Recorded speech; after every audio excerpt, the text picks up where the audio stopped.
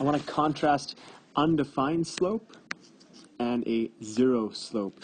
First, it requires a review of the definition of slope. Slope is a rise over a run on a graph if we have y versus x. The rise is this change here, is a, is a delta y, that's the rise, and this guy here is the run. It's a change of x. Next point, undefined numbers are numbers that are divided by zero. So 6 divided by 0 is undefined. 10 divided by 0 is undefined. Happy face divided by 0 is undefined. Delta y divided by 0 is undefined. If we recognize that delta y divided by 0 is undefined, then we need to have a line follows this idea to have an undefined slope.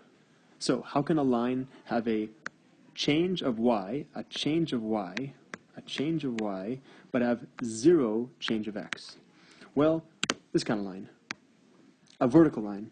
A vertical line has a change of y, it's changing its y value, but it has no change of x value. Delta x for this line is 0. A vertical line has an undefined slope. How about a zero slope? A zero slope means we have a rise at 0 over a number, delta x. If we have 0 rise and a number for change of x, this value is equal to 0. So what kind of graph has this property? We're going have y, and we have x.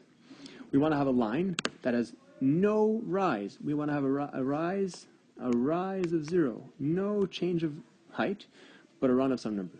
Well, a flat line has that property. This line here has a run, a delta x, that's a number. Number.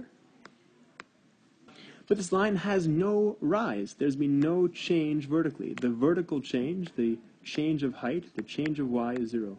This therefore has a rise over a run, a rise over a run of zero.